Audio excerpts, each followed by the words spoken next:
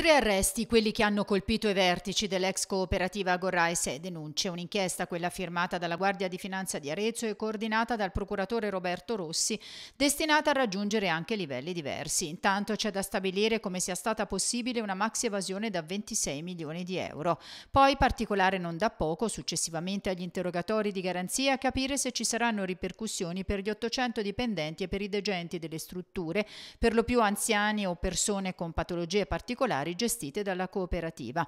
L'accusa per tutti è di associazione a delinquere finalizzata all'evasione fiscale e altri reati contro la pubblica amministrazione e la preoccupazione sul mondo del lavoro arriva anche dalla CGL. Siamo preoccupati per questo duro colpo al sistema cooperativo della nostra provincia, nonostante le numerose vertenze che in questi anni ci hanno visti contrapposti ad Agorà, si legge in una nota, questo non è il momento dei giudizi, sarà compito della magistratura accertare i fatti e determinare la verità.